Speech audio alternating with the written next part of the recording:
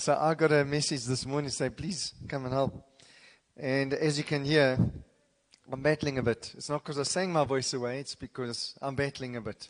I was I got sick uh, during a holiday Bible club and, and I got better and it, well, it just came to give me another visit. So I'm battling just to get rid of the last of it.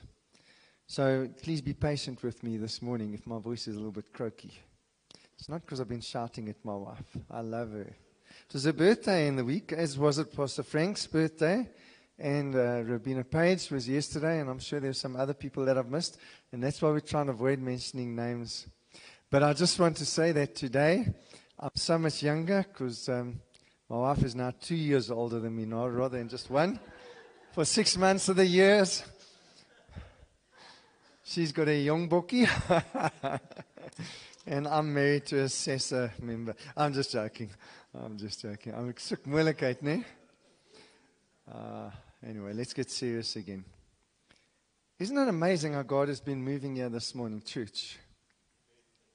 Yo, two amens. Did the rest of you not notice it? God's presence has been phenomenal here. And there's a very clear trend. Uh, Conrad said, as he used that scripture, Jeremiah 29 11, the plans of God good, the prophetic word that came out. And Conrad, you, you, you're right, because you stole it out of my, my. That same scripture. No, it's the Holy Spirit. He's speaking to us. When a scripture starts coming up over and over and again, then you must know that God is speaking to you. So it's in the message this morning. So this morning, I can tell you, I, um, aside from my daughter writing to me, say, Dad, I need help in the worship team.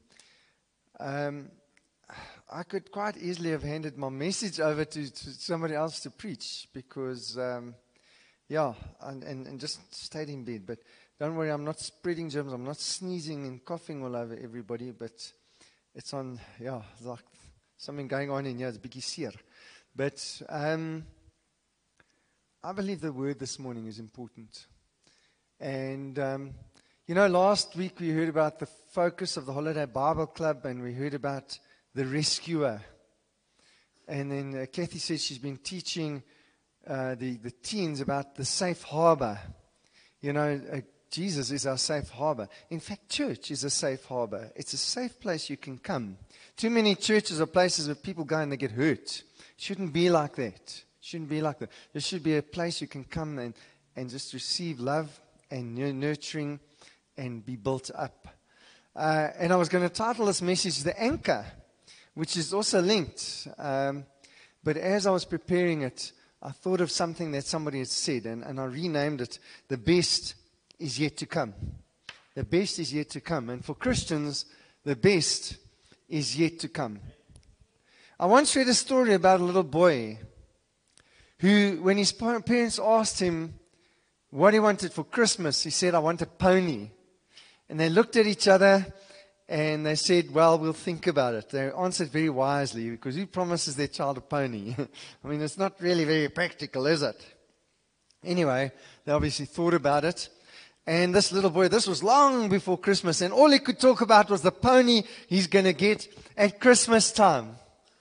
And finally, Christmas Day arrived, Christmas morning um, arose, uh, arrived, and this little boy got up out of bed and very excitedly he went and looked out the window because he was fully expecting to find a pony somewhere in the yard.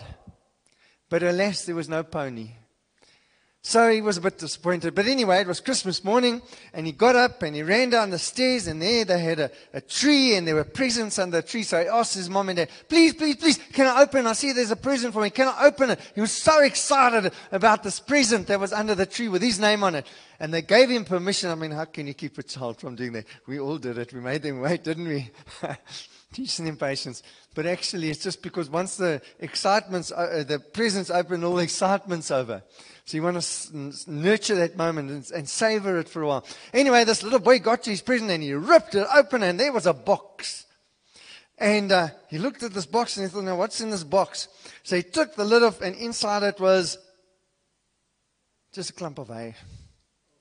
And this little boy said, hooray, hooray, hooray. And his mom and dad looked at each other and thought, what?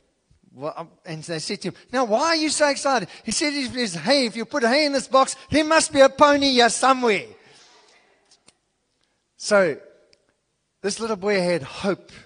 There was hope. If there was hay in the box, there was hope that there's a pony somewhere. And uh, all that he needed to believe that there was a pony was just to see that bit of hay in a box inside the house. And that's what hope is. Hope is a feeling of expectation and desire about something that you are looking forward for it to happen. That's hope. That's what hope is. An expectation based on a future event or occurrence, something that you're expecting to happen. I re- recently heard somebody say something like this when preaching. In fact, I've heard it more than once in a sermon. Somewhere in the future, sorry, there goes my voice. I look far better than what I do right now. What a statement. What a statement. Somewhere in the future, I look better than what I do right now. Now, I look pretty good right now. I mean, look at this nice jacket. Got a brand new jersey on. I've got a shiny head. I'm just joking. Somewhere in the future, I look a lot better than what I do right now.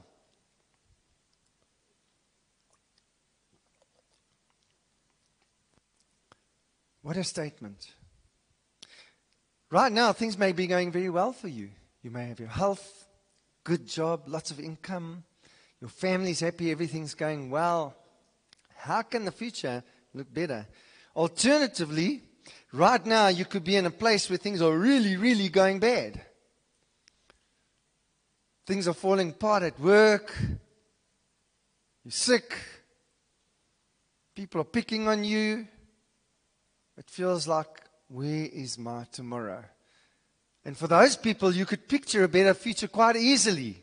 In fact, you go to sleep tonight and you hope for a better day tomorrow. That's hope. That's what hope will do for you. And I believe that that prophetic word was for each and every person this morning. Because God says He's here to meet us in our needs, didn't He? He gave us such amazing. I think, and you know, we do record the service. Good morning to those that are online with us. I so often forget to greet you. But this recording goes on Facebook and it remains there. So if you didn't get it, just go and find, search this church out on Facebook and go and find and go and listen to that prophetic word again. It's worth listening to again because there were some very clear promises that came through in the prophetic word this morning. And you'll hear more about it as I go on in the message. But hope is something where we hope that tomorrow our circumstances will be better. We hope that somewhere in the future we will look better, feel better, manage better, and be better than what we are right now.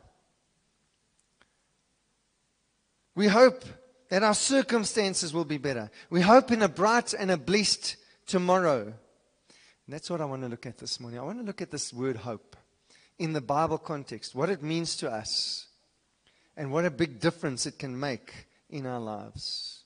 Can I hear an amen? So I want you to put your seatbelts on this morning, strap down, because I honestly believe that the Lord has given us a word of encouragement. Let's pray. Let's pray together. Father, we thank you this morning that you've been speaking to us already. We thank you, Lord Jesus, that you are here. Holy Spirit, you are here. And Lord, not only do we welcome you, you here, but we pray remain here.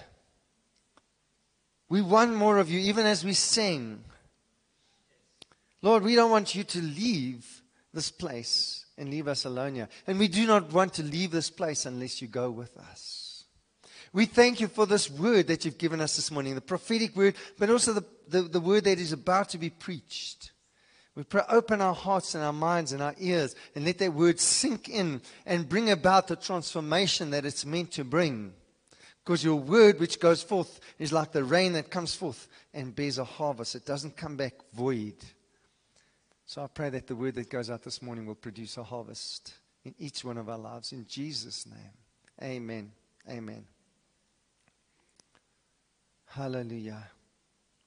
What is the Christian's hope? Well, let me first read to you this amazing scripture on hope. Hebrews 6, verse 19 from the Amplified Version. Have you got your Bible here? Don't you want to open your Bibles with me? I'm going to read it a bit different because obviously the Amplified amplifies the meaning of the words.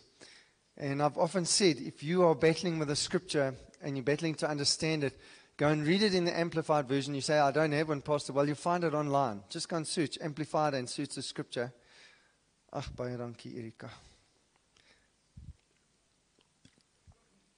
You see, that's love in the church. They're caring about me. And if there's strepsils, it means that somebody else also battling. So thank you.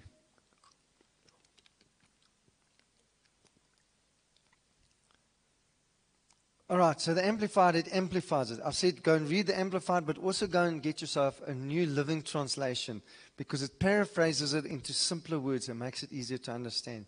Let your go to Bible, this is my advice, be the New King James Version because the Old King James was the most accurate translation, and the New King James is just that in modern words. But then have a look at these other ones that help you to understand the scripture. Hebrews 6, verse 19. Now, we have this hope. Say with me, hope. As a sure and steadfast anchor of the soul. That's why I was going to name this message the anchor. It cannot slip and it cannot break down under whoever steps out upon it. A hope that reaches further and enters into the very certainty of the presence within the veil. What's the presence within the veil? That's the Holy of Holies, where God is found, God the Father is found. Amen. So hope will take us all the way through, right to His presence. But I'll, I'll elaborate on that scripture later on. It's going to come up three times in this message this morning. What is the Christian's hope? Well, we can summarize it into these, these three, uh, oh, sorry, seven words from Colossians 1, verse 2. Christ in you, the hope of glory. Say it with me Christ in me, my hope of glory. That's the Christian's hope. It's a summary, seven words. Christ in us, the hope of glory. Amen. He is our hope. Jesus Christ in us is our hope of glory. Glory speaks about eternal, eternity. Our hope for eternity. A Christian's hope comes from the fact that we have invited Jesus to be our Lord and Savior, to live in us. He is our hope of glory. Paul encouraged the people of the Thessalonian church not to be like those who have no hope. We use the scripture when we do funerals. He encouraged the people in the church not to be as those that don't have hope. Why do you think he needed to do that? Because they were grieving when people died in a way that was, it was not meant to be the, the, the, the kind of grief that belonged to a Christian who's lost a Christian loved one. And for you and I, if we lose a loved one, while it's terrible and there's pain and there's grief and we will miss them, we do not lose hope. Because if they died in Christ, Christ in me, the Amen. So it says this 1 Thessalonians 4, verse 13 to 14. But I do not want you to be ignorant, brethren, concerning those who have fallen asleep. I'm not talking about those that fall asleep in church. I'm concerned about that. Okay, leave that for the pastor. Okay, we're talking about those who've died, they've fallen asleep. All right. Lest you sorrow as others who have no hope. As a Christian, we do not sorrow for Christians who do not have any hope. If you know somebody who's died without Christ, you can sorrow in a different way. But let me tell you, it's not for us to judge. Because you don't know if in that person's very last moments they invited Jesus in. Amen. We don't know. And that is why Jesus said we mustn't judge.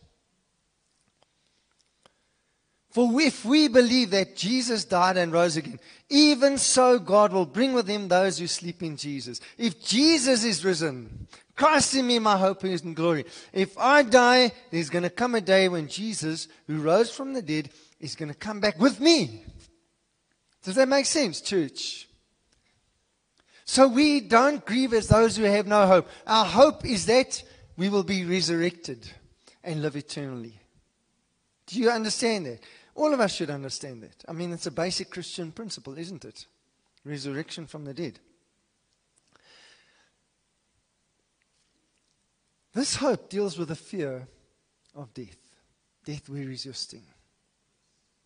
Where is the victor of the grave? It doesn't have victory anymore. If you're living and you're afraid of dying, we may be afraid of the unknown, of what we don't know. What is it going to be like to die? What is it going to be like to get ill with an illness that leads to death? We, those kind of things can maybe cause fear. But death itself, you should never be afraid of. And even if you're ill, you shouldn't be afraid of it because God will give you grace. What did he say to Paul? He said, My grace is sufficient. So he will help us through those difficult circumstances. Hope replaces the fear of death with a great and wonderful expectation of a better future in God. Say it with me again. I have a better future. Amen. When we walk out of this place this morning, church, I want us to be encouraged. Encouraged in who we are as Christians and encouraged to know that no matter how good or how bad it is right now, there's something in the future that's better than what we have right now. That is the Christian hope. Our best is yet to come. Let me ask you this question. And I want to ask you this because I'm going to give you opportunity to respond to it later on. Do you have that hope? Is that your personal hope, child? I would like to say child of God, but let me rather say congregant, person that's sitting here this morning, the friends, those of you that are here this morning, is that your personal hope? Do you have a hope of a future in Christ? If you don't have Jesus, you don't have that hope. Do you have a relationship with Jesus Christ? Because that is what it's going to take to take hold of that hope. There's plenty of examples of hope in the Bible. Let me share just two with you. What about Abraham? Abraham had hope. If you got your Bibles there still, this is one of my, I don't know, favorite verse. I've got lots of favorite verses, but this is one of them. Romans 4, verse 17. I normally quote Romans 4, verse 17b, the second half of it. But we're reading 4, verse 17 to 18 this morning. As it is written, I have made you a father of many nations. This is talking about Abraham. In the presence of him whom he believed, God, who gives life to the dead and calls those things which do not exist as though they did. With God, we can call things that do not exist as though they did. You may be sitting here this morning and you can have hope of healing, child of God. Because even though your health may not be good, our God is the God that calls with that which is not as though it is. You may have a bone, a part of your body that is deteriorating, messed up and hurting and not functioning as it should. You've got to hope this morning that God can make that thing new because He makes that which is not as though it is. And He even lifts up that which is dead. Amen. That's what we need to hear. Let it sink in, church. It's time we got excited about God's word.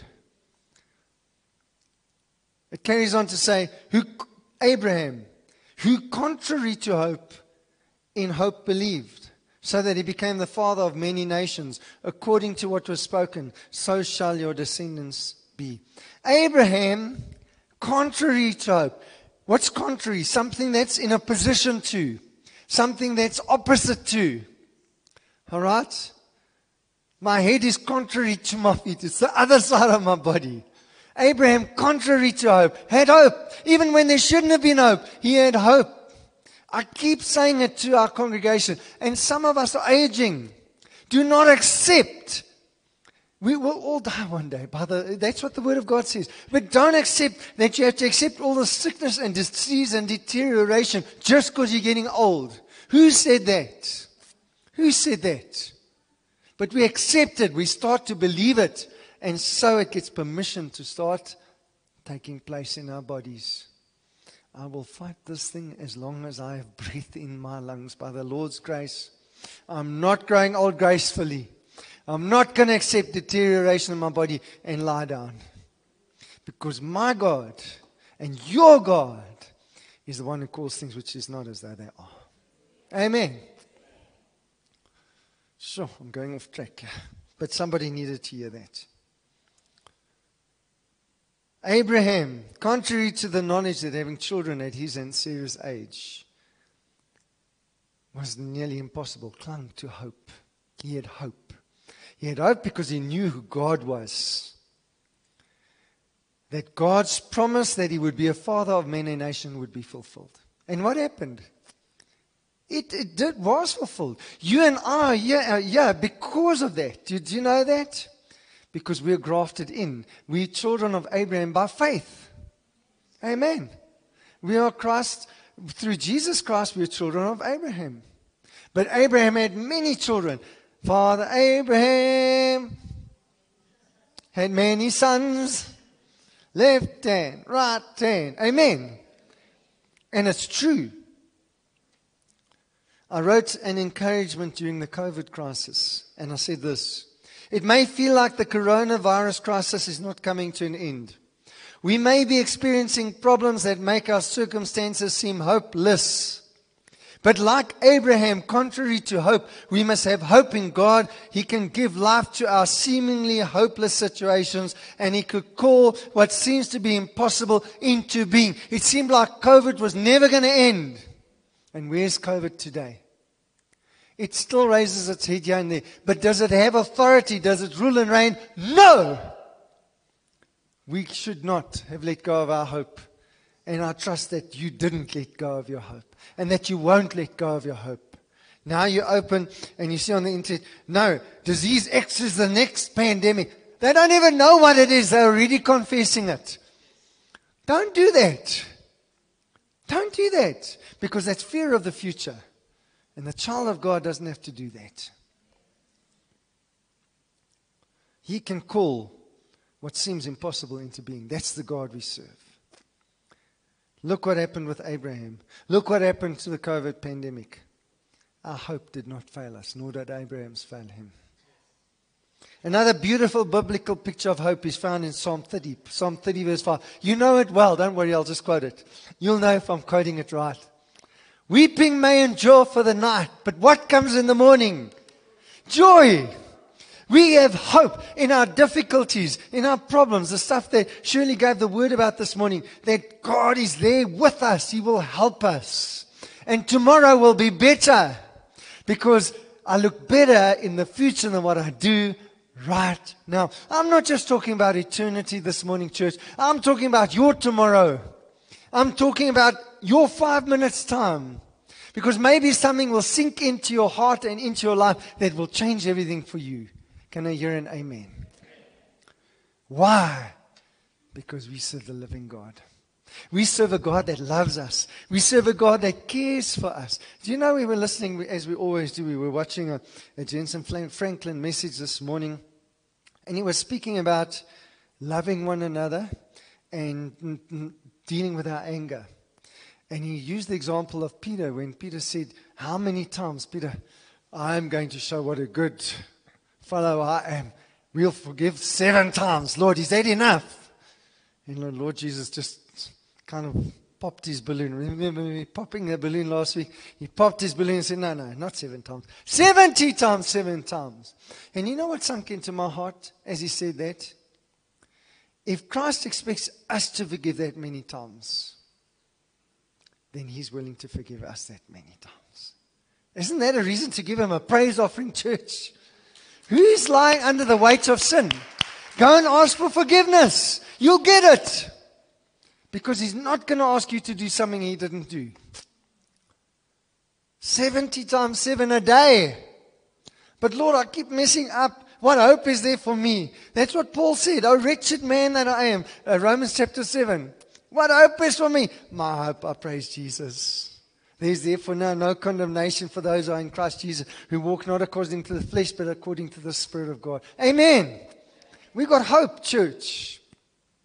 Hope always speaks of a better future, and God encourages us to, us to have hope for a good future. Have you still got hope, church? Are there people sitting here this morning that feel like they've lost all their hope? Their problems just go on and on and on, and you just want to give up. This message is for you this morning. God wants to encourage you this morning. You need to have hope. We look at our country. On the way here this morning, I'm away from my message again. It doesn't matter. And I look at these posts, these light posts. And a couple of years ago, we saw them. They put them up, beautiful cables, beautiful LED lights. Yeah, and yeah, two years later, you drive past the posts and the wires are hanging down because they've been stolen. And there's almost no lights because the lights have been stolen. Oh, and we say, oh, there's no hope for There is hope for this country, church. Yes, we are in the process of a time of change. It's taking a bit of time and wrangling and everybody finding their place. Don't give up your hope, church. This is the great Southland. Come and pray with us about this country. Come tomorrow night. Pray with us. This is a great Southland. This is the land where revival is going to spread from and go right through Africa. We got hope. We've got a hope because we've got a God, the God of all hope. Amen. Our tomorrow looks better than today. Don't look at all this rubbish. It's naysaying. It's politicking. It's, uh, it's just rubbish propaganda. Stop believing the lies. They say stuff to, to wind people up and to turn people against other people. It's all politicking. It's about power. Leave it in the Lord's hands. Love your nation. Love your neighbor. Say there's hope for this nation. Amen. Hallelujah.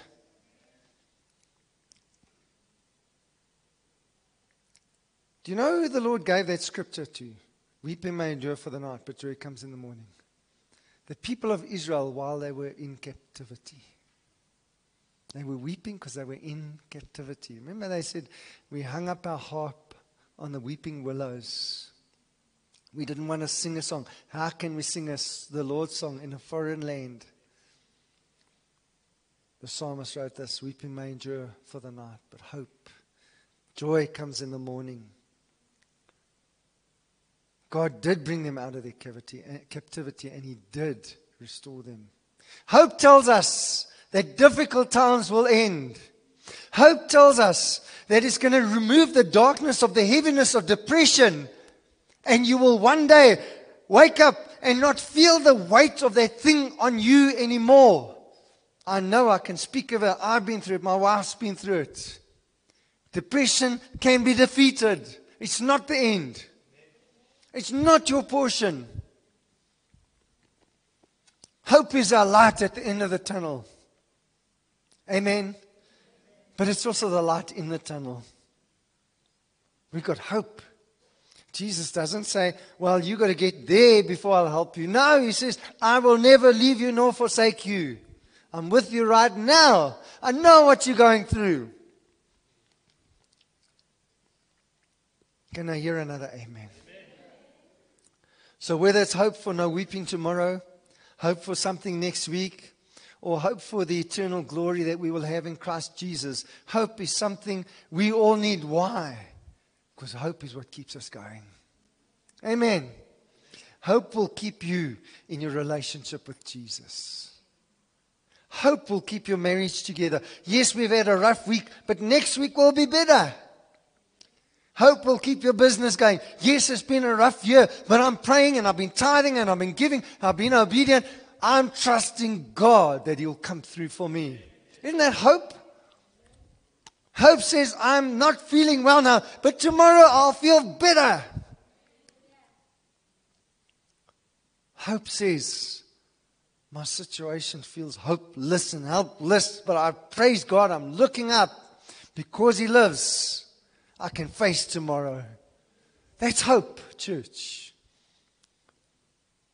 Let me tell you a few things about hope. We can have confident hope. We can have confidence in our hope.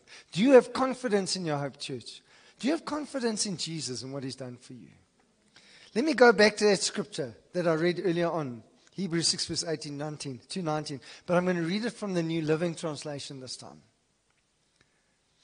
Listen to this.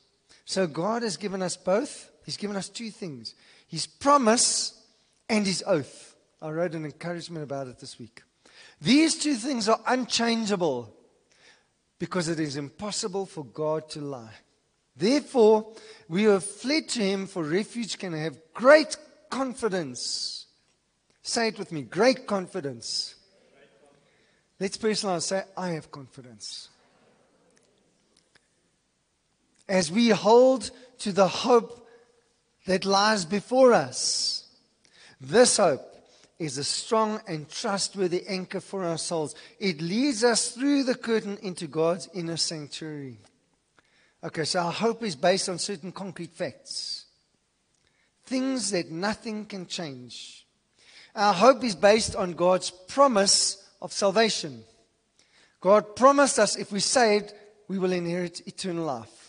Can I hear an amen? If God promises something, is he going to break his promise? That same scripture said it's impossible for God to lie. So God gave us his promise and then he sealed it with something else, even more, even bigger than his promise. He made an oath. He made, don't take an oath easily, simply, okay? Because we tend to break our oath and God holds us responsible. That God gave us an oath. That means it will never, ever change. He made an oath. That's it. Klar. It cannot change.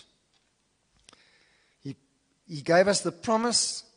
In Hebrews 6, verse 9, it says, Dear friends, we are confident that you are meant for better things. Say it with me I'm meant for better things. Those things come with salvation. And he gave us his oath that he will never change his mind regarding his promise to us of salvation. That comes from Hebrews 6:17. God also bound himself with an oath so that those who received the promise could be perfectly sure that he will never change his mind. If you're saved, church, don't ever doubt it. God's not going to change his mind about your salvation. Isn't that exciting? Can we give him praise for that? Bless you, Lord.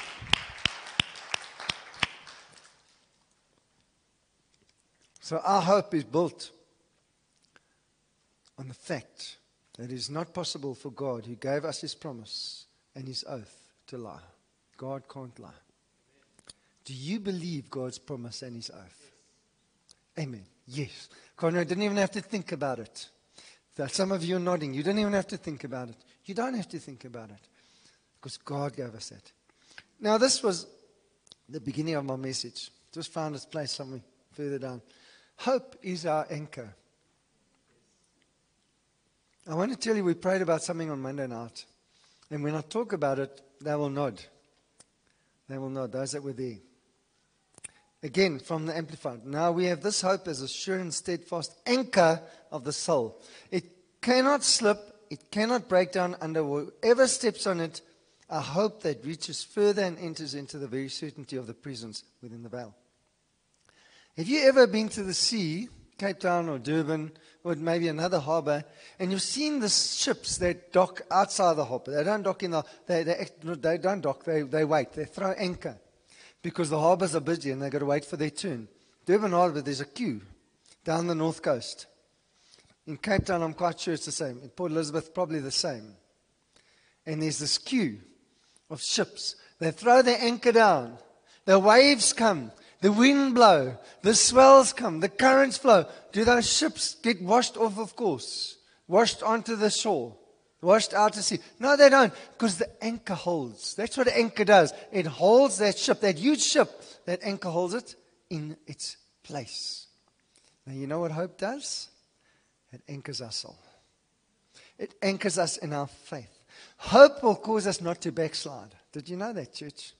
Hope is what causes you not to backslide. If I've got doubts about my future and I'm not confident about what God's offering me, it would be much easier for me to drift off and start living a carnal and a worldly life again. If things go wrong, to say, ah, God is not going to come through for me. But hope is my anchor. It anchors my soul. It anchors your very eternity. Hope. What we need to do is throw that anchor down and let it, mm.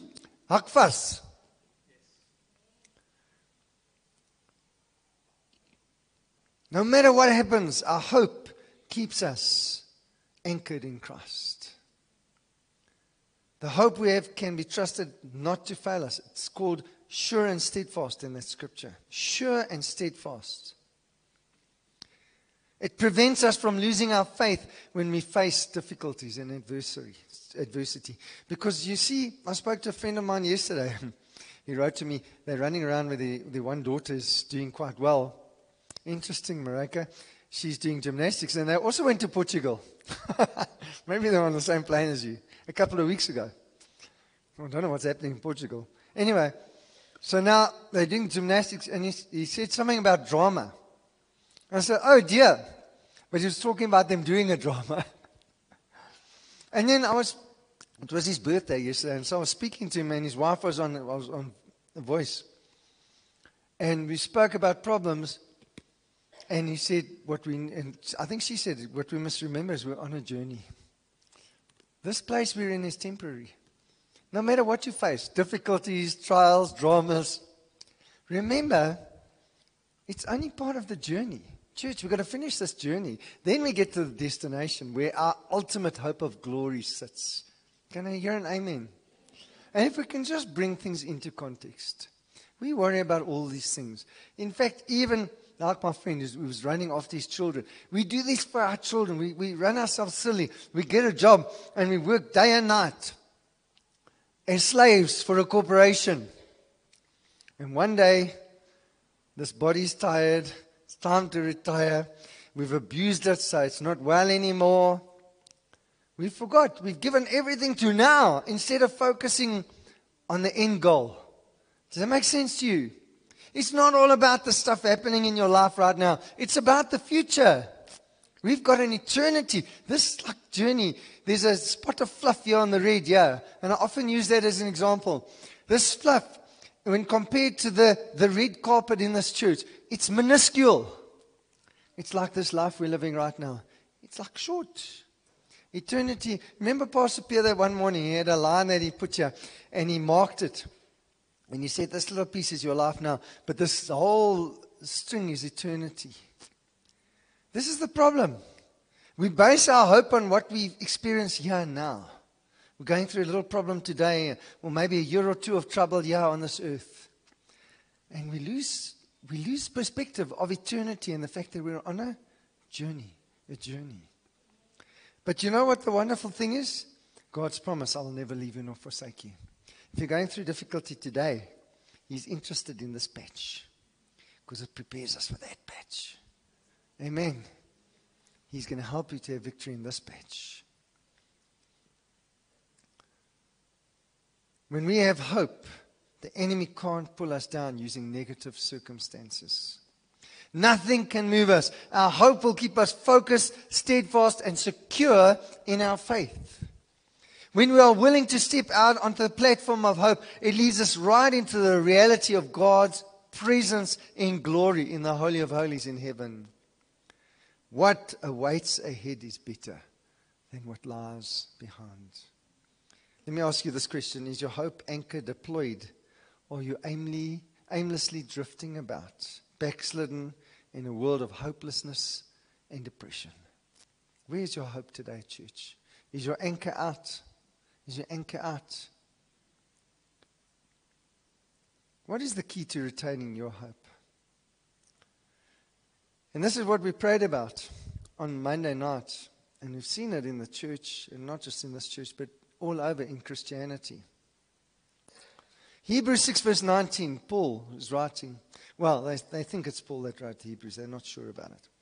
But whoever wrote the Hebrews says, Our great desire is that you will keep on loving others as long as life lasts. How long must we love others? As long as I'm doing this. Amen? As long as we're breathing, right? Listen to this. In order to make certain that what you hope for will come true, what is the key to fulfilling our hope? It's an interesting answer, isn't it? Loving others for as long as we live. Loving others is the key to retaining your hope, church. Say that with me. Loving others is the key to retaining my hope. Now, sit up and take notice of what I'm about to say because that scripture's not done yet. Okay? Just, just double check that scripture reference. I actually think it's Hebrews 6, verse 11, because then it says 12 here, as I've copied it in. Then you will become, sorry, then you will not become. So if we keep loving others as long as life lasts, in order to make sure that what we hope for will come true, then it says this. Then, if, you see, it's if and then statement, then you will not become spiritually dull and indifferent. We prayed about the church, the people in the church, about indifference, about not caring, a no care attitude. People are indifferent. Christians are indifferent. How do you prevent yourself from becoming dull and indifferent in your Christianity? By walking in love. Can I hear an amen? The Lord gave me to the answer, the answer. I read this on Tuesday morning. It was the answer to a prayer we prayed on Monday night. Then you will not become spiritually dull and indifferent. Instead, you will follow the examples of those who are going to inherit God's promises because of their faith and endurance. Hope endures. Hope is faith. Hope is there if we carry on walking in love. Otherwise, you're going to become dull and indifferent in your faith. In church, this is the problem in the church. It's the problem in the church. The church has become dull. I'm not saying this church, I'm talking about the church in general. But Christians have become dull and indifferent. And you know why? What did Jesus say is the most important commandment? Love your neighbor as yourself. Because our love for our Father is built up in it. The whole word is built up in it. The, the law is in it. We need to walk in love We need to walk in love. Walking in love says, I see somebody that is walking and heading towards a damnation, eternity without Jesus. If I love that person enough, I will put my shyness and myself aside and I will speak to that person and say, There's a better way. That's love. Amen. Love says, I treat my brother and the sister in the church kindly, gently, with patience. I walk with forgiveness. I bear with my brother and sister in love. Amen. Love says, I love God enough to actually be diligent in attending services. Be diligent in study of His Word. Be diligent in prayer. Be diligent in, in doing my very best to live a righteous life. That's love. Love says, I treat my husband or my wife right. I treat my children right. I treat my co workers right. I treat my staff right. I treat my boss right. I treat the person that's annoying me and irritating me right. Love does that. The church is struggling because they've become indifferent and cold and dull in their faith because they've lost the zeal to love. Go and read the book of 1, 2, and 3 John, where John writes about the imperative to love. It's imperative that we love. So if we were asking ourselves questions, but why is everybody indifferent? We do all of these things, we preach all these words, but people don't change. What we need to start praying, leaders, we need to start praying that the church will love one another. And with love, others. Jesus used the example of the Good Samaritan. And who were the first two? They were clerics. They were clerics. They walked past that guy. And the guy that was despised, the Samaritan person, the Jews didn't even eat with him. He found that person, he took money out of his own pocket, he cared for that person, came back and checked if that person was okay. That's the picture Jesus drew for us in the parable. Do we walk like that, church? If we will, and what, is, what did he say? That we will spend all of our days walking in love, then we will not lose hope. The reality is, you can have as much hope as you like, but if you're not walking in love, you can just kiss that hope goodbye. Mwah. Because you're going to become dull and indifferent because you do not walk in love.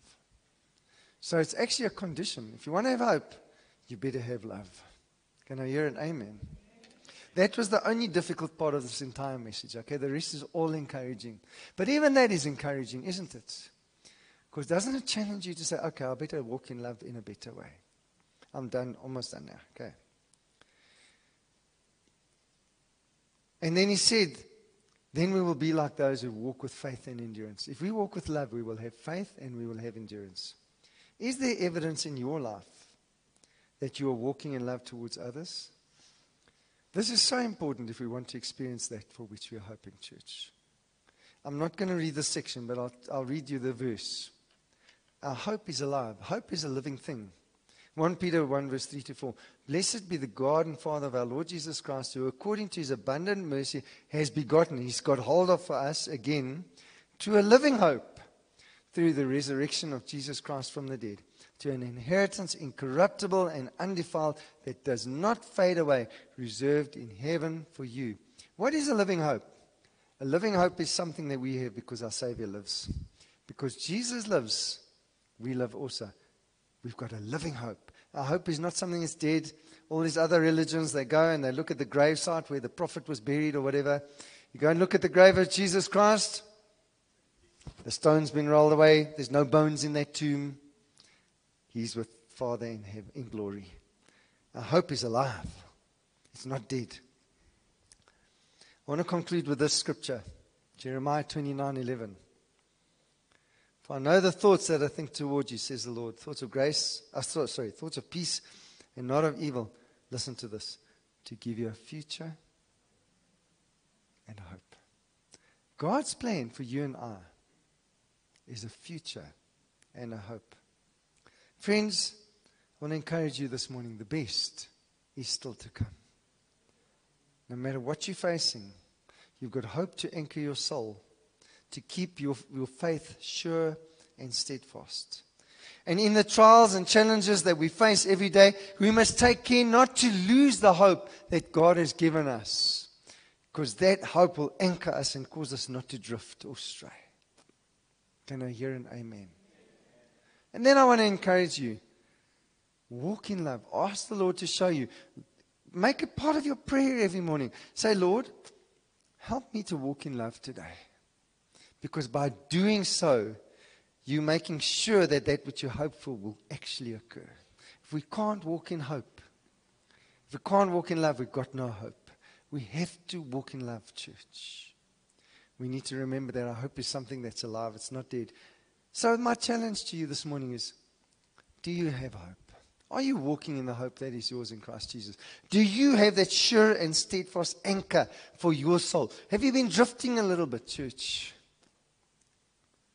I want to challenge those that are battling with depression. Depression is something that will come. It's like a dark blanket that comes and falls on a person. It's like a garment. It falls on a person. It'll rob you of your hope. Depression will make you want to end it all. I don't have hope, so why do I bother to live? Amen? I bind that spirit. It's a dark spirit. I bind it in Jesus' name. I take authority over it in Jesus' name. I curse that thing and I command it to leave this place. And every person that's here this morning, it's got no place in your life, Christian. Take authority over that. Take hold of your hope. Let Jesus be your light in the tunnel. Because there is light at the end of the tunnel. You look better tomorrow than what you do right now. You've got a better future. I know the plans I have for you to give you a future and a hope. Let's stand, church.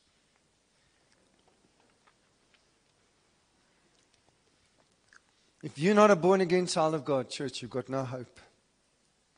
Then people are going to mourn for you as those who have no hope. If that's you this morning, you want to give your heart to Jesus with every eye closed so that you can make a personal decision. If you want to accept Jesus as your Lord and Savior this morning, say, I want that hope that comes from being a child of God. Why don't you just lift your hand up like this? That's you, just lift up your hand. Amen. I see a hand. I see anybody else who can take that hand down? Is there anybody else? All right, we're going to just pray. We're going to pray a general prayer. Let's just pray this together. Father God, we have heard this morning of the hope that we can have in you.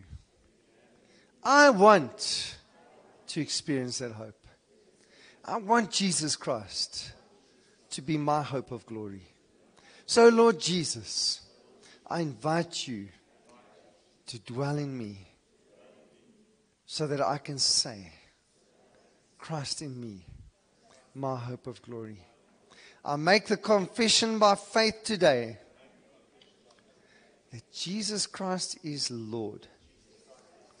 And Father, that you raised him from the dead in the power of your Spirit.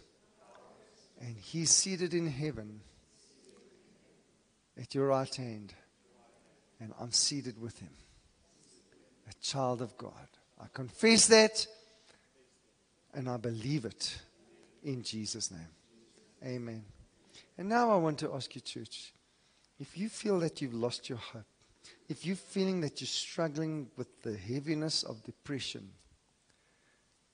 or just battling through days, if you feel that you've lost hope in a certain circumstance, situation, maybe you, your healing, your health, or your marriage, it can be anything. If you just lost hope, if you're just battling to, to have perspective about even thinking about tomorrow, I want to ask you, and I'm going to ask you to come forward. I'll ask the leaders to pray for you again. I'm not going to come too close to you. But if that's you today, just come to the front here. We're going to cut that thing off. Is there anybody? There anybody that would come forward here and just hand that cloak of depression, take it off and set it aside? Anybody this morning? I don't see anybody getting up. Well, that's fine. come, my brother, come. I knew I didn't have this message for nothing. Said, Have you been encouraged this morning, church? Amen. I'm going to ask if, if, if the brothers here will pray for you. I just don't want to come too close. And uh, I want to just tell somebody here this morning, anybody who, who this is for. I've been feeling this for some time. I've got a jacket on this morning. I feel that that depression is like a jacket. It's like something you're wearing. It's something that's squashing you and too tight, and, and it's just doing this to you. And Jesus says, I want to take the thing off you. I want to take it off of you, and I want to set it aside. I want to set it aside. I want to take that feeling of, of like you just closed in. Um, uh, I'm trying to think of the word. You're feeling claustrophobic. It's so heavy. Jesus says, I want you to take it and set it aside. I've actually walked away from my jacket. He wants to free you from that thing this morning. For somebody here this morning. So let's, let's just close our eyes and we're going to pray. And then we'll ask these gentlemen to minister. Kirsty will lead us in a song, and I'll greet you at the back. Our Lord, we want to just thank you that you are our hope. We thank you, Lord Jesus, that in you tomorrow is better. I look better tomorrow than what I do right now. And in my future, I look much better than what I do right now. Because Christ in me is my hope of glory. We thank you that we have hope as a steadfast anchor for our soul. It's sure and steadfast. We will not drift because our hope is in you. And I pray, Lord, that bit which I spoke about, about love. Without love, we will drift. We will become dull and indifferent. We repent of our lack of love. And we pray, Lord, teach us how to love like you love. We ask for victory as we go out of this church now. In Jesus' name. Amen. Amen.